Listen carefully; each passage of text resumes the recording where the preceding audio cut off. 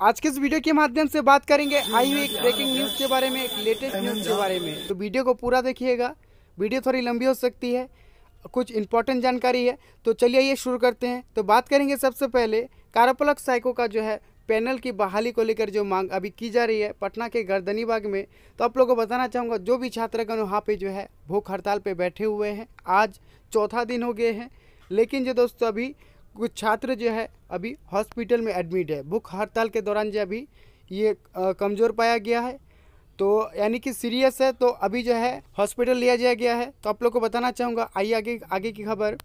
तो सबसे पहले आप लोग को बता दूँ, आज जो है 24 अगस्त 2019 तो आप लोग को बताना चाहूँगा आज ही की न्यूज़ में ये आर्टिकल दिया गया है। जो भी आर्टिकल दिया गया, आप सभी लोग को पता है, इसमें क्या मैटर लिखा गया है, ठीक है? तो यहाँ पे बात करेंगे तीन टॉपिक के ऊपर। तो सबसे पहले आप लोग को बताना चाहूँगा, जो अभी भूख हड़ताल जारी है, इसको लेकर अभी तक जो है सरकार की तरफ़ से अब तक कोई जो है निर्णय नहीं लिया गया है, कोई भी ठोस जो है यहाँ पे संज्ञान नहीं किया गया है। तो इसी के दरमियान आप लोग को बताना चाहूँगा, पूरी बात आप लोग को पता है, आज चार दिन से जो धरना किया जा रहा है, किस लिए किया जा रहा है, आप लोग को जो है वीडियो बना के बता भी रहे हैं। तो आइए आगे की न्यूज़ जो है, वो आप लोग को बताते हैं। तो अब बात करेंगे यहाँ पे, जैसा कि आप लोग एक लेटर यहाँ पे देख पा रहे होंगे, ये जो हमें अमन जी ने सेंड किया है पटना के गर्दनीबाग इलाके से, जहाँ पे जो है भूख हड़ताल अभी जारी है। तो ये जो लेटर सेंड करके सरकार से मांग की जा रही है कि चार दिनों से भूख हड़ताल पर बैठे हुए भाई लोगों का जो है हालत यहाँ पे गंभीर बनी हुई है, लेकिन अभी तक जो है कोई भी अधिकारी खबर लेने नहीं आई है। आज जो है कुछ भाई को जो है अस्पताल में ले जाया गया है। अब बताना चाहूँगा, उनकी स्थिति जो नाजुक बनी हुई है। अतः जो है सरकार से निवेदन है कि वो जो है हमारी न्यूज़ जल्द से जल्द करे। तो ये रिक्वेस्ट जो है चार दिनों से जारी है। और आगे भी जारी रहेगा ऐसा कहना है। तो आइए कुछ क्लिप है वीडियो का वो आप लोग को दिखलाते हैं। फिर वीडियो को समाप्त करेंगे और आप लोग इस वीडियो को ज़रूर शेयर कीजिएगा ताकि जो भी धरना प्रदर्शन जो भी भूख हड़ताल हो रही है वो जो है संपूर्ण परिपूर्ण हो और जो आगे न्यूज़ आप लोग निकल के आएगी आप लोग के साथ शेयर करते रहेंगे। तो देखते रहिए इस वीडियो को। आपका मांग क्या है? आप क्या सर बीपीएसएम के तहत कार्यपालक सहायक की बहाली बिहार सरकार कराती है। इसी के संदर्भ में बीपीएसएम के द्वारा कार्यपालक सहायक का पैनल बनता है। कार्यपालक सहायक का एक पैनल बना, बिहार सरकार ने जारी किया। उसके बाद कुछ लोगों को पैनल से ज्वाइनिंग कराने के बाद एक भारी तादाद में पूरे बिहार के हर ज़िले के लोगों का पैनल रद्द कर दिया जाता है और दूसरी तरफ़ कहा जाता है कि उस पैनल में जो लोग बचे हैं, उनको बेल्ट्रॉन के तहत ज्वाइनिंग कराया जाएगा। लेकिन सवाल यह है कि हम बी के द्वारा पास किए हुए लोग हैं। हम उससे एग्ज़ाम कंडक्ट कराया, उससे पास किए लोग हैं। फिर हम कैसे दूसरे कंपनी के द्वारा बने मजदूर बन जाए ये सोचने की बात है। इसलिए सरकार से एकदम हमारा एक ही मांग है कि बी के तहत जो मेधा सूची बनी है वही मेधा सूची के द्वारा हमारा जो बहाली की प्रक्रिया है उसे पर, उसको बहाल किया जाए। अभी आप देख रहे हैं कि हम गर्दनीबाग धरना स्थल पे आज लगातार तीसरे दिन आमरण अनशन पर बैठे हुए हैं। यह हमारा तीसरा दिन है, लेकिन सरकार का कोई बड़ा बड़ा अधिकारी अब तक संज्ञान नहीं लेने आया है। पाँच जो हमारे साथी भूख हड़ताल पे बैठे हैं, उनके भूख हड़ताल के कारण उनकी तबीयत लगातार नाजुक बनी हुई है। लेकिन इसी नीतीश कुमार के नाक के नीचे, यहाँ से कुछ ही किलोमीटर दूर पे बिहार के सीएम का आवास है।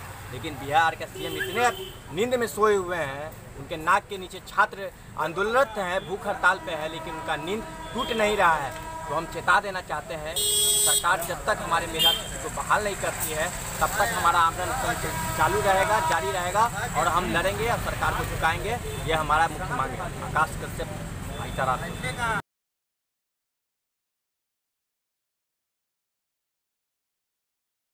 जी, मैं बिहार अध्यक्ष एन एन झा का नमस्कार सबसे पहले। दूसरी बात है, मैं आप सभी से नम्र निवेदन करना चाहता हूँ वो बिहार के जिस ज़िले से हैं, उनसे हर ज़िले से मेरा निवेदन है कि आप लोग कम से कम पाँच सौ रुपया सहयोग राशि में दे राजकोष में, क्योंकि यहाँ पे जो आपके भाई बंधु हैं, उन लोगों की दयनीय स्थिति आ चुकी है। उन लोगों के पास पैसा समाप्त हो रहा है। इसलिए नीरज गुप्ता जो छपरा के हैं छपरा का जो अकाउंट है, उसमें आप लोग पाँच सौ रुपया देने का कष्ट करें। क्योंकि यहाँ के जो आपके भाई बंधु हैं उनको कम से कम दो वक्त का मुँह का निवाला मिले। इसलिए मैं सारे सदस्यों से सारे सदस्यों से तहे दिल से नम्र निवेदन करना चाहता हूँ। प्लीज़ प्लीज़ आप लोग कम से कम पाँच सौ रुपया का सहायता राशि राजकोष में दे, जो नीरज गुप्ता शारण का जो अकाउंट नंबर है उसमें। क्योंकि अब हम लोग उस क्षण में आ चुके हैं, जिस क्षण में हम लोगों की विजय मिलेगी। और मैं आप लोगों से पूछना चाहता हूँ, क्या हम लोग टूटी हुई शमशीर लेने के, लेकर के, वापस लेकर के आने के लिए आए हैं? नहीं। मर जाऊँगा, मिट जाऊँगा, अपनी सांस की आखिरी क्षण तक रहूँगा। लेकिन हम लोग जीत के ही जाएँगे। इसके लिए हमारी, हम लोगों की जान ही क्यों न जाए? जो भी मेरे सदस्य हैं यहाँ पे और आप लोगों से एक और नम्र निवेदन है कि आप लोग जहाँ तक, आप लोग यथाशीघ्र भी यहाँ पे पहुँचने का कष्ट करें, क्योंकि अब सारे जगह ये बात फैल चुकी है, बड़े से बड़े पदाधिकारी से लेकर के और हमारे माननीय मुख्यमंत्री से ले तक पहुँच चुकी है। अब वो निर्णायक क्षण आ चुका है जिसमें हमें विजय मिलेगी और उस विजय में आपका सहयोग अपेक्षित सहयोग जो अगर कुछ मिल रहा है आर्थिक सहयोग से लेकर के और आपका आना अगर आप भी आ रहे हैं तो इसमें हमसे मतलब इसमें आप बहुत बड़ा बहुत ही बड़ा मदद कर रहे हैं। बस मैं इतना ही कहते हुए अपने शब्दों को विराम देता हूँ। जिंदाबाद।